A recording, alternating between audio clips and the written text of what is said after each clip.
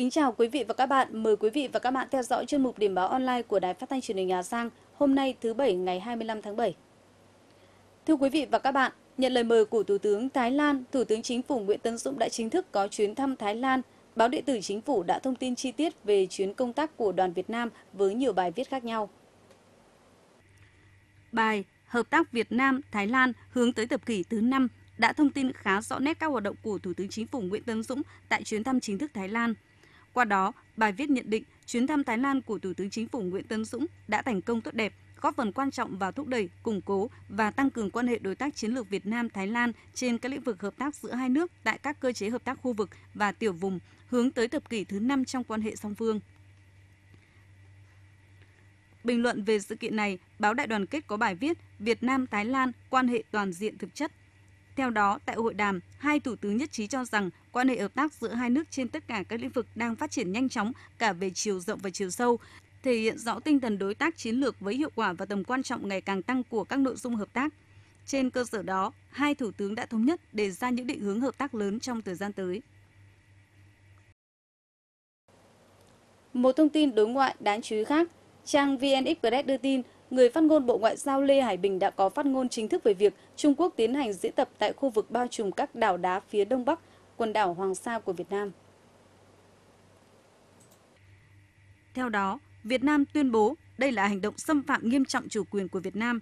Cụ thể là với Hoàng Sa, đi ngược lại nhận thức chung của lãnh đạo cấp cao hai nước, ngăn cản đà phát triển của quan hệ hai nước, làm cho tình hình thêm căng thẳng, phức tạp, đe dọa an ninh an toàn hàng hải trong khu vực. Việt Nam phản đối và nghiêm khắc yêu cầu Trung Quốc tôn trọng chủ quyền của Việt Nam, hành xử có trách nhiệm, dừng ngay và không tái diễn các hành động làm căng thẳng và phức tạp thêm tình hình. Cũng nói về công tác đối ngoại phát triển, báo điện tử Đảng Cộng sản Việt Nam đưa tin, chính phủ vừa phê duyệt đề án hội nhập thống kê ASEAN giai đoạn 2016-2020. Mục tiêu là đến năm 2020 trở thành quốc gia trong nhóm 5 nước đứng đầu ASEAN về công tác thống kê. Cụ thể, đến năm 2016, Việt Nam hình thành cơ chế cung cấp và chia sẻ thông tin giữa các cơ quan tổ chức thống kê trong nước. Đến năm 2017, Việt Nam trở thành quốc gia trong nhóm 4 nước đứng đầu ASEAN về thống kê thương mại hàng hóa quốc tế. Để đạt được các mục tiêu trên, giải pháp đưa ra là hoàn thiện khuôn khổ pháp lý, nâng cao chất lượng chuyên môn nghiệp vụ và tăng cường ứng dụng công nghệ thông tin, xây dựng cơ chế cung cấp và chia sẻ thông tin. Tiếp tục các thông tin xung quanh việc Bộ Giáo dục và Đào tạo chính thức công bố điểm thi tốt nghiệp trung học phổ thông quốc gia, báo Nhân dân đưa tin tỷ lệ đỗ tốt nghiệp trung học phổ thông cả nước đạt 91,58%. Theo cơ sở dữ liệu do Bộ Giáo dục và Đào tạo công bố, tỷ lệ tốt nghiệp trung học phổ thông năm 2015, khối trung học phổ thông đạt 93,42%, khối giáo dục thường xuyên đạt 70,08%, bình quân chung là 91,58%. Tỷ lệ tốt nghiệp trung học phổ thông đối với các thí sinh dự thi tại các cụm thi do Sở Giáo dục và Đào tạo chủ trì là 84,45% và ở các cụm thi do trường đại học chủ trì là 94,74%. Theo nhận định của Bộ Giáo dục và Đào tạo, tỷ lệ tốt nghiệp trung học phổ thông năm 2015 giảm so với các năm trước có nguyên nhân từ công tác coi thi, kỷ luật trường thi chặt chẽ hơn. Quy trình chấm thi hai vòng độc lập được tuân thủ nghiêm ngặt hơn đã giảm tối đa hiện tượng học sinh giúp đỡ nhau làm bài trong phòng thi.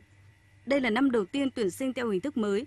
Trang Dân trí đã cập nhật những điểm mới quan trọng trong xét tuyển đại học cao đẳng năm 2015. Bên cạnh những kết quả tích cực, việc thực hiện chủ trương xã hội hóa công tác bảo tồn di tích cũng tồn tại nhiều bất cập.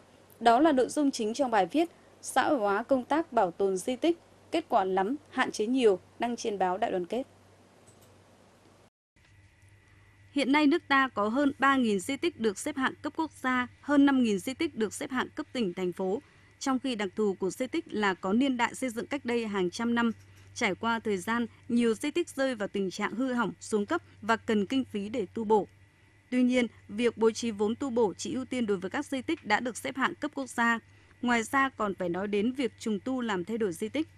Cũng nói đến di tích di sản, báo Quân đội Nhân dân có bài viết bảo tồn, phát huy giá trị rừng di sản. Bài viết nêu, Thời gian qua, không ít địa phương sau khi có những di sản được vinh danh ở cấp quốc gia và quốc tế, cộng đồng cư dân sở tại chưa được hưởng lợi hoặc hưởng lợi rất ít từ danh hiệu di sản đó. Khiếm khuyết này một phần do địa phương mải mê, say sưa với chiến thắng sau khi đạt danh hiệu. Phần khác do chưa biết khai thác, phát huy tiềm năng giá trị của di sản để mang lại lợi ích cho bà con. Quý vị và các bạn vừa theo dõi chương mục điểm báo online của Đài Phát thanh Truyền hình Hà Giang thứ bảy ngày 25 tháng 7. Cảm ơn quý vị và các bạn đã quan tâm theo dõi. Kính chào tạm biệt quý vị và các bạn.